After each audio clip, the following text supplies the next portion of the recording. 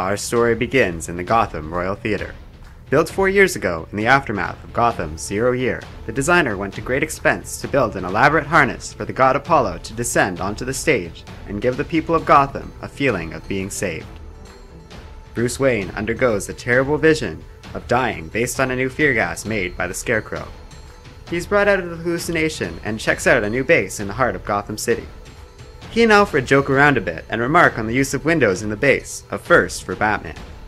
Suddenly, Wonder Woman bursts in and violently attacks Bruce Wayne and refuses to listen to any reason. In a desperate maneuver, Batman is able to release a non toxic gas in the city, granting him cover and the ability to access a high tech suit designed specifically to fight the Justice League if needed. Unable to defeat Wonder Woman in direct combat, he instead uses a magical artifact to trick her into thinking that she has killed him. Alfred does not see anything on his radar. However, as he finishes his sentence, Bruce notices a red blur.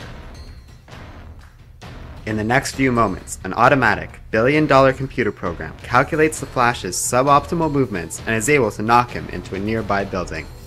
Bruce is then confronted by Aquaman, but with quick thinking, Bruce is able to incapacitate him.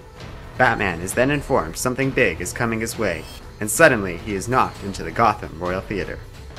Thinking back to the man who designed the theater, he says in truth that when gods come down, it's terrifying because you never know what they're gonna do. Bruce begs Clark to stop and asks who did this to him. Superman and the Justice League begin to laugh, and Batman realizes with horror who is responsible for this. He's back!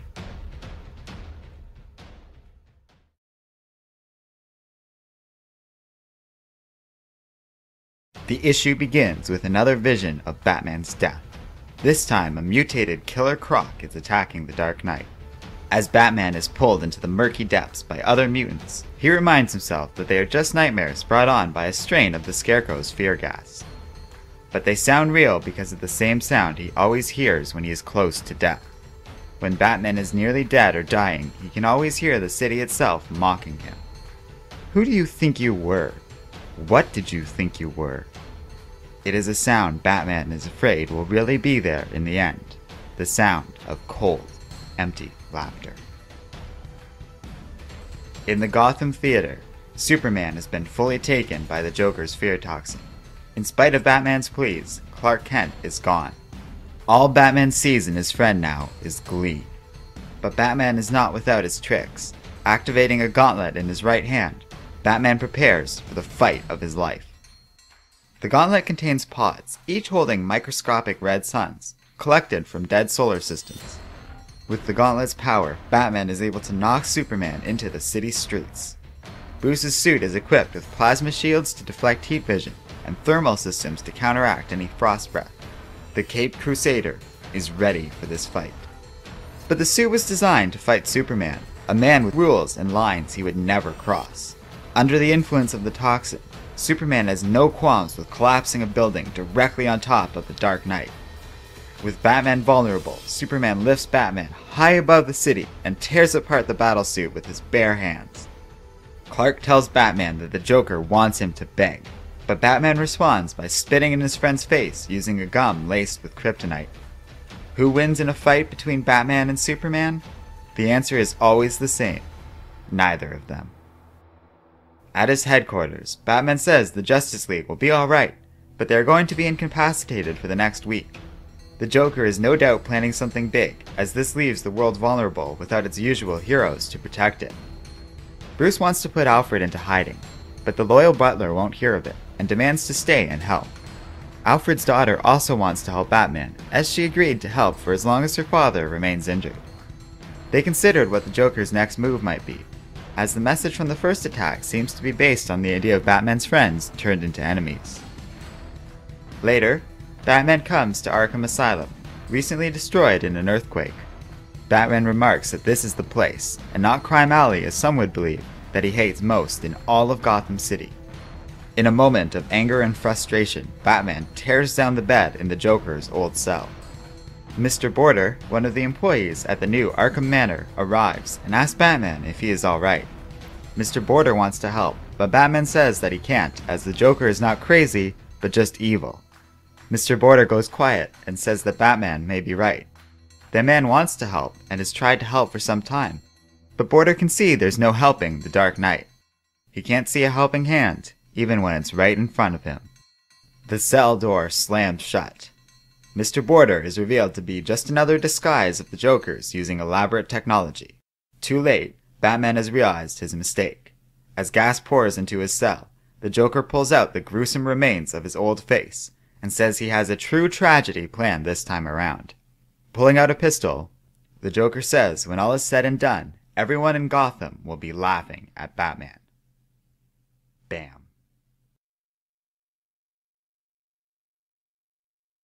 Stare back at him. Stare back and tell yourself you're more than a man. You're better than this. You're not 32 and strapped to a chair, poisoned, paralyzed.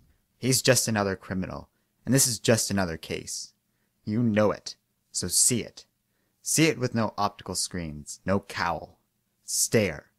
You can feel the pupils constricting in hatred, but fight it. Don't let it show, even now, even as the grin spreads. In the Batcave, Bruce Wayne stands, tied to a chair and paralyzed. He is aware and awake, but can't move. With a roar, he manages to wake up and recover. Alfred and his daughter have brought him to Wayne Manor, which is currently being used as the new Arkham Asylum. They explain to Bruce that Gotham has been overrun by citizens infected with the Joker's new toxin. The police are losing ground and the situation looks grim. Batman says nothing is unkillable. Over the years, he has created hundreds of antidotes to the Joker's various fear toxins. But Alfred's daughter explains they've tried every single cure, and not one of them has come even close to destroying the toxin. Some sort of secret element, something that appears almost unnatural, is giving the virus remarkable resilience to being destroyed. Batman then asks to see the first case of the infection. Whoever it was walked into Gotham Presbyterian before the virus manifested itself, meaning they must have some kind of initial resistance to the virus. Batman sets out to the hospital, hoping to be able to synthesize a cure from this patient. On his way, he contacts Jim Gordon, and they tell each other what they know of the situation. Gordon says the virus seems to leave something of the person it infects, turning affection into hatred. Friends come after friends. Given what people feel about Batman, Bruce is likely to become the most hunted man in all of Gotham. Batman arrives at the hospital and begins to search for patient zero. Meanwhile, Jim Gordon begins to do some research on Gotham Presbyterian he scoffs at the urban legend that the hospital is haunted, but as he looks over a picture of a fire that happened in 1910, he is disturbed to find an all too familiar face in one of the pictures. Jim Gordon drops his cigarette in shock. In 1946, some medicines were switched out with rat poison. Jim Gordon is again surprised to find the same familiar face. Bewildered, Jim Gordon begins rummaging around for an old picture of his children visiting the hospital. He sees in the picture a white arm reaches in from a nearby room. Gordon hears something come from his closet. He approaches with his gun drawn, but is knocked out by a spring loaded trap. On the floor, two eyes appear from under the bed. At the hospital, Batman finds patient zero. Bruce is shocked to find it is none other than Joe Chill, the man who murdered his parents. He knows. A boy and his parents call out for help, and Batman realizes the Joker is recreating the night that made him into Batman. Under the influence of the toxin, Joe Chill is powerless, and though he begs someone to stop him, he approaches the couple with a gun. Meanwhile, the Joker is pleased and shows Gordon that he has all sorts of new material to test out. With the snap of his fingers and a little bit of gasoline and flint in his shoes, the Joker lights the apartment on fire. Simultaneously, Jim Gordon and Batman spring into action. Batman bursts into the room and dives into the way of the family, while Joker charges at Gordon with an axe, only to be shot in the chest by the Commissioner. Joe Chill is incapacitated, and Batman is able to save the boy, his parents are taken by the virus. They begin to escape from the hospital, as Batman tries to ignore a ward full of infected infants. The babies are on IV and will be fine for hours. Jim contacts Batman and says he got the Joker. He's gone and was flesh and blood the whole time. There is no magic, there was no rebirth. As Gordon begins to have some hope once again, the Joker rises among the flames. Batman and the boy make it out of the hospital, but Bruce loses contact with Jim Gordon. On the other side of the line, he hears only two words. Hello, Bruce.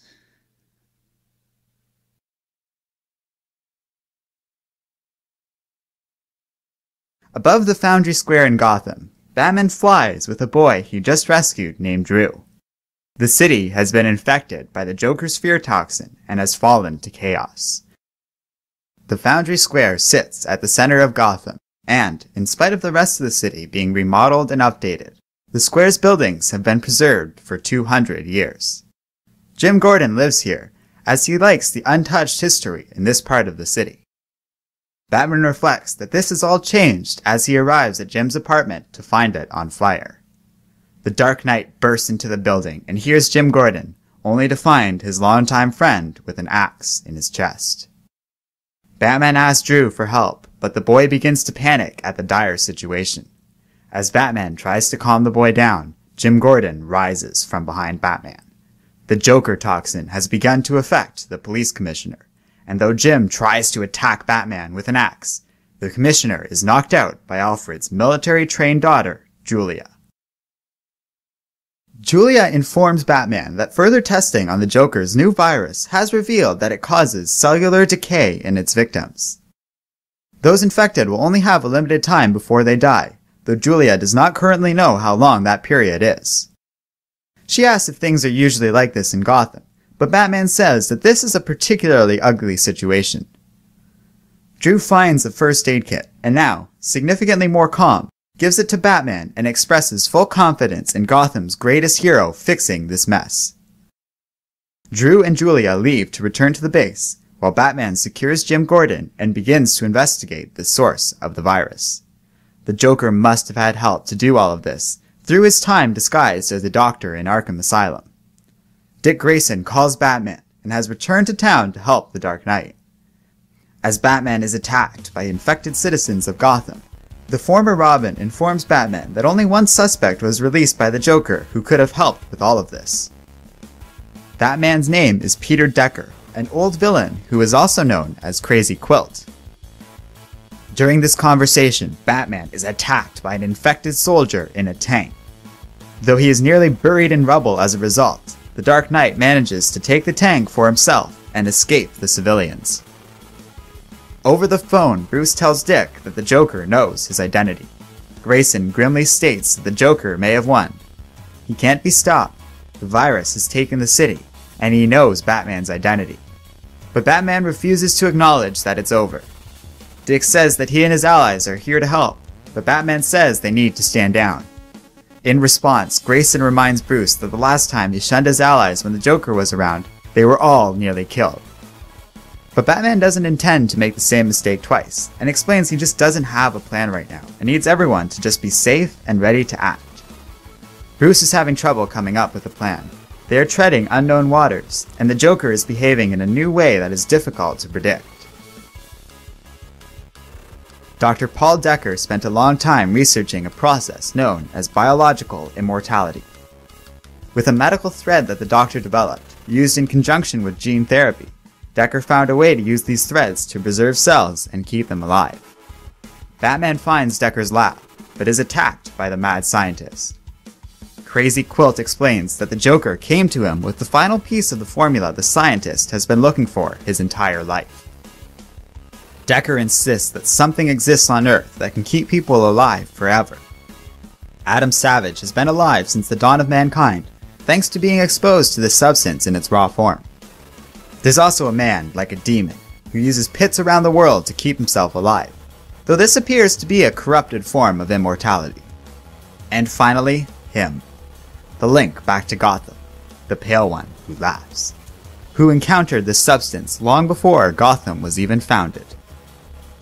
Batman manages to surprise Crazy Quilt and knocks him out of a window, pinning his quilt to the windowsill and demanding to know where the Joker got this substance. But Quilt says the substance is extinct and has been for centuries. All that is left is what is in the Joker's blood. Over the radio, Julia contacts Batman. The virus will kill everyone it infects in 24 hours, maybe less. She also ran facial recognition software on the Joker throughout Gotham's history. The villain is everywhere in Gotham, but there's been a major tragedy over the last 200 years. It's possibly a trick, but if that's true, it has to be the best photo doctoring Julia has ever seen. Still hanging from the window, Decker reveals that he has a copy of the Immortality Serum. But Batman assumes this is a trick the Joker has played on the Doctor, and warns Crazy Quilt not to take the formula. But Decker refuses to listen and injects himself with the serum, only for his body to instantly decay and fall to the ground, dead. Batman has had it. This can't be real. Things can't and won't end this way.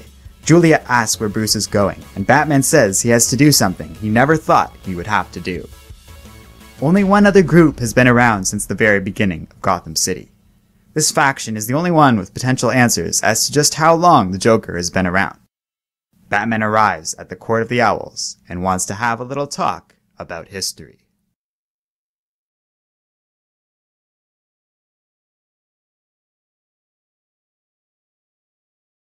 My enemies have a secret pact. They think I don't know about it, but I do.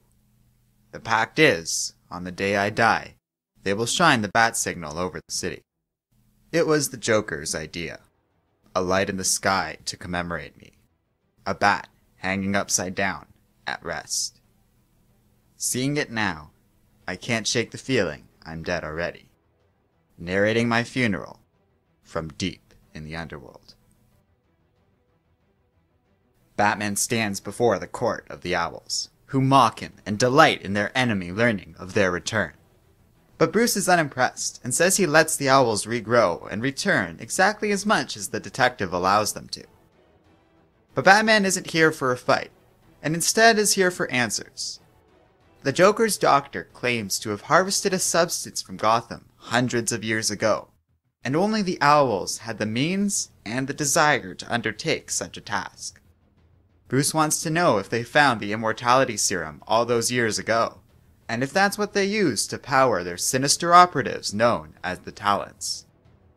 The Owls admit they did seek out this immortal substance, but all they ever found was a corrupted version. The serum, however impure, is sufficient enough to power their talons, but it is not nearly as undiluted as the substance within the Joker's blood. Batman asks for help, assuming the Owls have as much to lose with the destruction of Gotham City as anyone else if the Joker is successful with his plans. But the Owls are not threatened by this. They direct Batman's attention up to an inverted model of the city. The Owls build everything upside down here before they erect anything in the actual Gotham City to remind themselves that Gotham is greater than anyone in the court. The clown can burn the city to the ground, the owls will simply rebuild a more pure and cleansed city on top of its ashes. Realizing he will get no help here, Batman angrily destroys the model and brings it crashing down on the court. The Dark Knight then waits, knowing full well who else is out in the maze with him. Sure enough, one of the very first Talons appears before Bruce and sentences him to death on behalf of the Owl Court. Batman accepts that he may die one day, maybe even here, but first, he wants answers to just one question. This Talon was here in Gotham 400 years ago. Was he here too? Was the Pale Man in Gotham so long ago?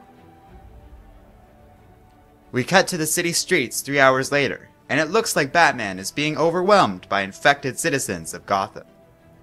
The story flashes back to Batman leaving the city's sewers after his encounter with the Owls. Bruce learns that while he was gone, the Joker infiltrated the Batcave, stole a bunch of trophies and memorabilia, and chopped off Alfred's hand when the loyal butler attacked the clown. Alfred will be fine, but using his new collection of Batman's trophies, the Joker has begun a parade in the middle of the city. Bruce realizes that the Joker is taunting him with the answer. If Batman wants to save the city, he'll have to get the immortality serum from the clown's own spinal column. With that, Bruce devises a plan and begins to set it in motion.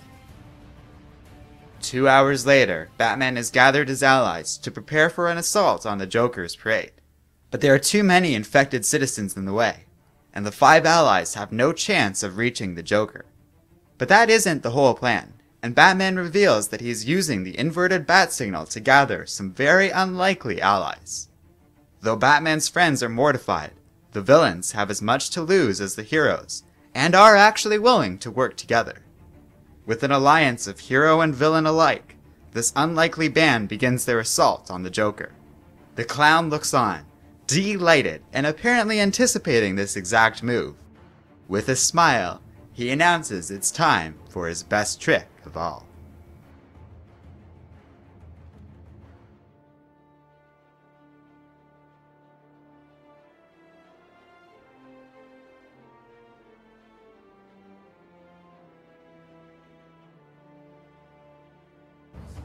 It all comes back to this moment.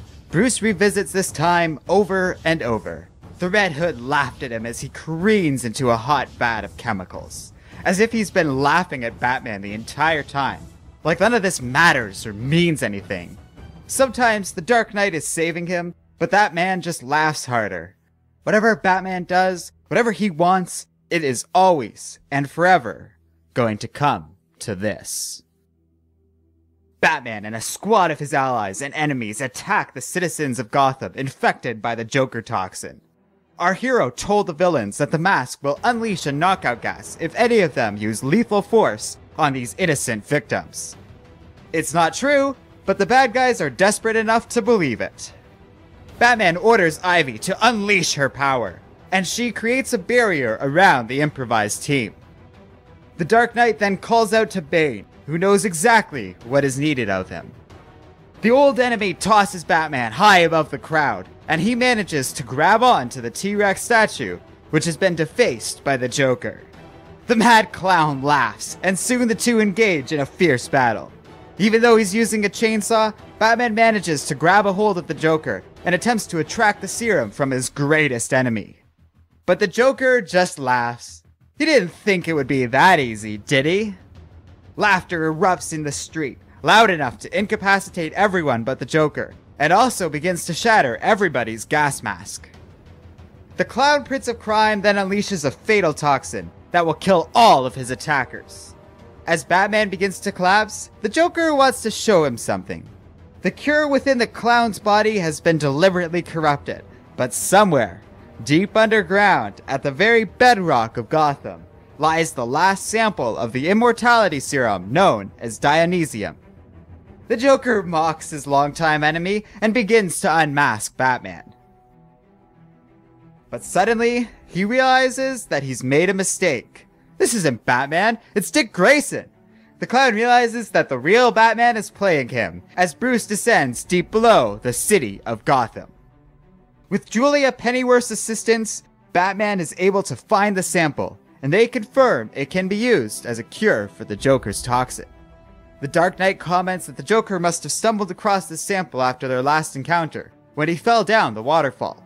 It's the only explanation for how the clown's face and body were healed.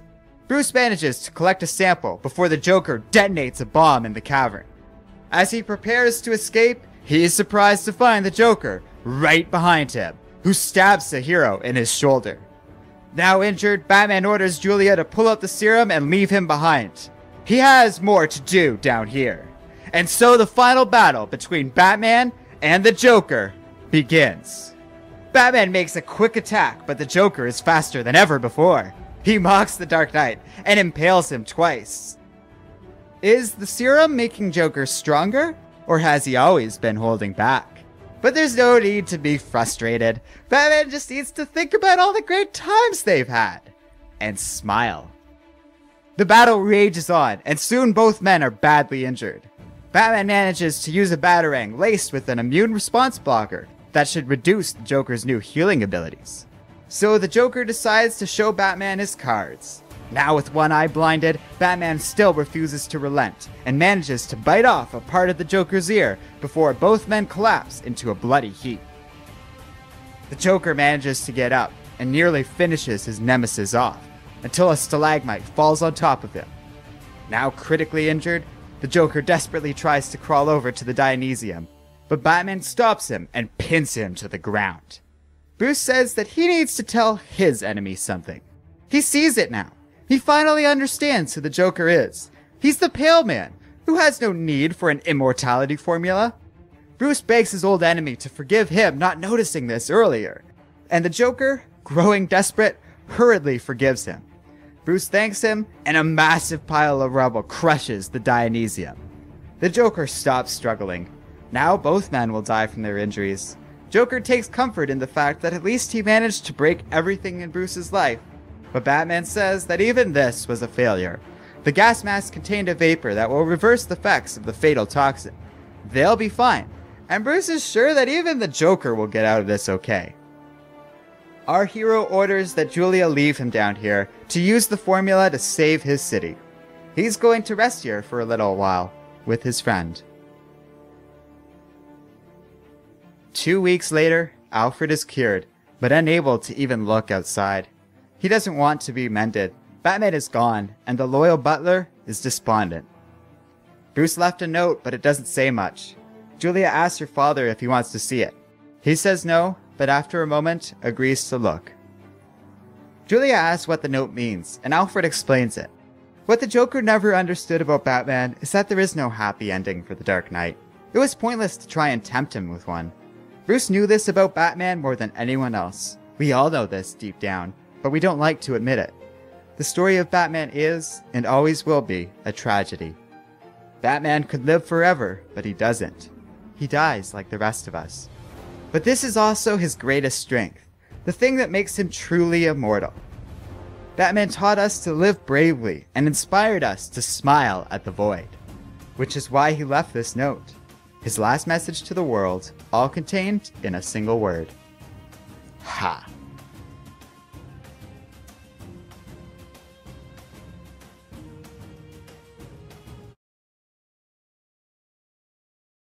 Hello and welcome to Comic Island. My name is Arden, and this is the complete story of Batman Endgame. So thank you all so much for watching this video. I hope you enjoyed this collection of my coverage for this story arc. I certainly enjoyed reading it and talking about Endgame itself. Overall, this was a fun event. Scott Snyder and Greg Capullo have become one of DC's strongest creative teams, and they really are in my eyes at their very best in this story. They work together very well and both deserve a lot of praise for their efforts here. This is apparently the Joker story that Snyder wanted to tell with Death of the Family but couldn't, and I believe it. I really enjoyed Endgame on the whole and would recommend you check it out for yourself. The only thing I do have to say is I would not advertise this to your friends as a Joker story. Don't tell them anything other than it's a good tale about Batman. The best way to enjoy Endgame is to let all the surprises and plot twists reveal themselves throughout this comic.